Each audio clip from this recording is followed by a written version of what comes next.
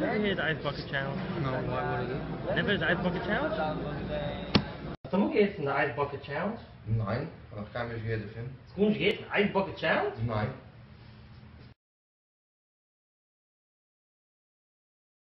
Yeah. You ever heard the Ice Bucket Challenge? Ja, ik had een huggy hebben zijn. Awesome! Because I got nominated by Shimmy Bloomberg to take the Ice Bucket Challenge within 24 hours or donate $100 to the ALS Foundation. So hopefully, this can raise awareness for this terrible disease. So I will be taking the challenge. And Vermi, would you mind helping me out here? No problem. You let me call me a few minutes ago to help you out. Oh, you like, I always like to help you out, Naomi. Je praat is bezig, but I want to do it right. So I cooked up a brew of ice water here, the coldest ice water south of the Arctic Circle. This thermometer starts at 35 degrees. It's below 35 degrees.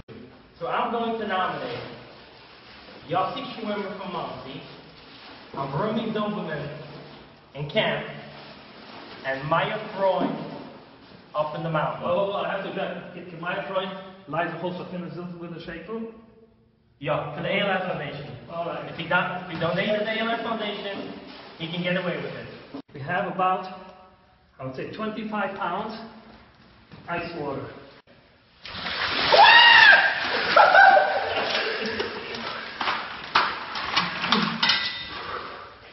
很痛 ok